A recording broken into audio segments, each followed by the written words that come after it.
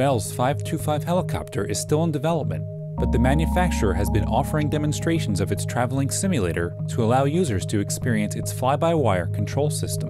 This is the first fly-by-wire control system for a civil helicopter, and the focus is on reducing pilot workload and improving safety.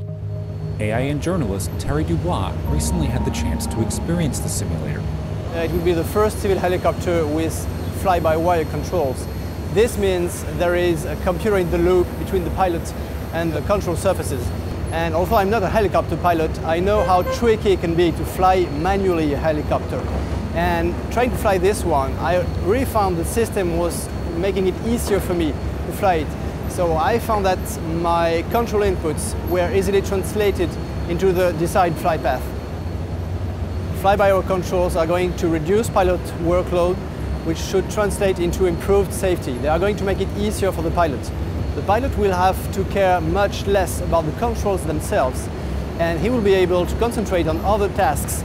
So in other words, his mind will be free for other cognitive tasks, such as decision making, such as uh, situational awareness, and this is really where safety can be improved.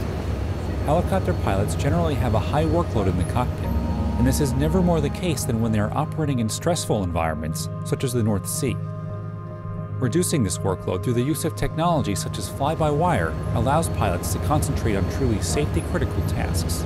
So a good example is a double engine failure, and uh, the fly-by-wire control system will help the, help the pilot a lot in such an event, which is very unlikely, but still might happen. So the idea is uh, if you have a double engine failure, you have to react very, very quickly, within a handful of seconds. You have to perform a couple of actions to keep the rotor turning. If, if you don't perform these actions within seconds, you are in real trouble and this can lead to an accident. So fly-by-wire controls are going to make it easier for the pilot. They will give a head start to the pilot if you wish, performing the first of the required action, the first of the required control inputs, automatically, even before the pilot knows. So this will give him a head start and uh, allow him to perform the other actions in a more relaxed way.